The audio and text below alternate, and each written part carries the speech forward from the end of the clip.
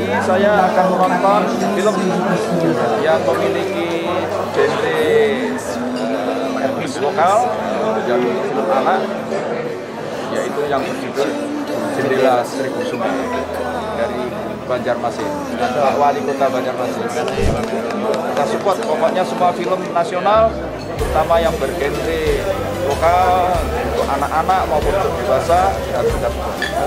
Harus menjadi tuan rumah sendiri dan jadi tamu terhormat di negara kita. Semangat yang bergema di setiap tekad mereka menuju sebuah harapan rasa rindu kampung halaman.